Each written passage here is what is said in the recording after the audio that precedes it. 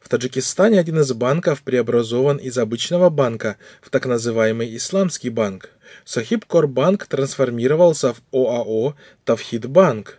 Такое решение было принято на общем собрании акционеров банка 12 июня, и процесс перехода находится на финишной стадии, сообщает пресс-служба Сохиб Корбанка.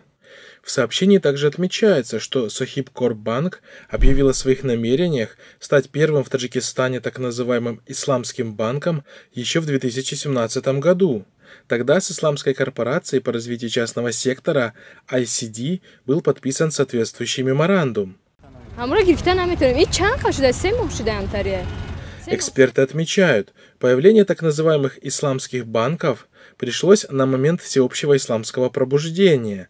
Однако на деле вся существующая сегодня система так называемого исламского банкинга является клоном ростовщической системы банков в исламском камуфляже.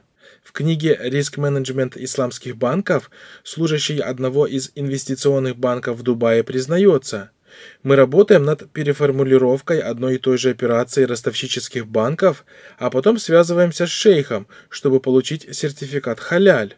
Если муфти не соглашается, ищем другого, предлагая большее вознаграждение. И так до тех пор, пока не получим сертификат. Большинство шейхов, выдающих фатвы, получают за это баснословные суммы, признается другой сотрудник.